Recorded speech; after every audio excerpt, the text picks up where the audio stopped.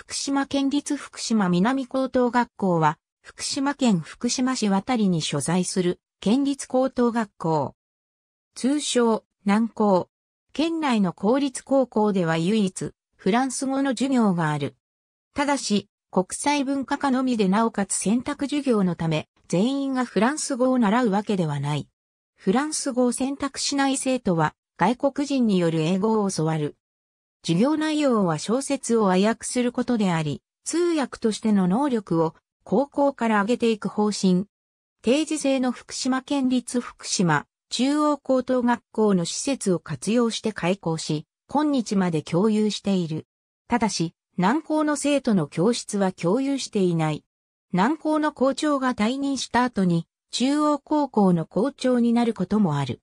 開学時、福島国際高校と福島南高校の2案が出されたが、最終的に福島南高校と命名された。スーパーイングリッシュランゲージハイスクールに文部科学省より平成19年度より指定される。国際交流に積極的な教育活動を展開しており、イギリスのケステーブン・グランサム女子中等学校と姉妹校協定を結んでいる。相互にホームステート受け入れの体制をとり、本校の生徒は例年7月にイギリスへ渡航、滞在し、10月にイギリスからの生徒を受け入れている。学校側では日本の伝統文化であることの演奏を体験してもらったり、放課後の茶道部の活動に参加してもらったりなどして異文化理解を図っている。このプログラムに参加した国際文化科の生徒は特別に単位認定を受けることができる。新型インフルエンザの大流行やアメリカ同時多発テロ事件、東日本大震災の影響で実施ができない年度も存在している。また、国際交流や留学に積極的であり、東京や有名高校を断られた生徒も受け入れている。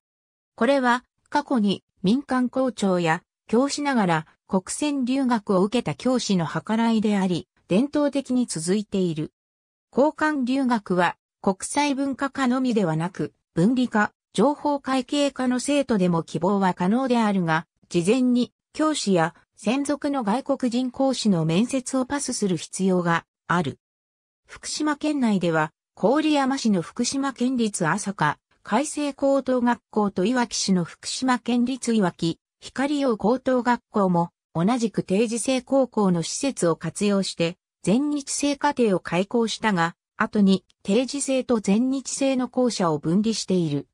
文化祭は3年に一度であるが、文化祭がない年度には、体育祭は毎年最低2回は行われる。グランサム高校からの交換留学を記念して、体育祭が行われるため、3回や4回になることもある。文化祭は公開のみで、学校内での文化祭は存在しない。夏の授業で水泳があり、男女混合であるが、科目で2クラスずつになり、男子は2クラスを合わせたチームで授業を受ける。部活動への参加は強制ではなく、自由参加。所属していない生徒は半分を占める。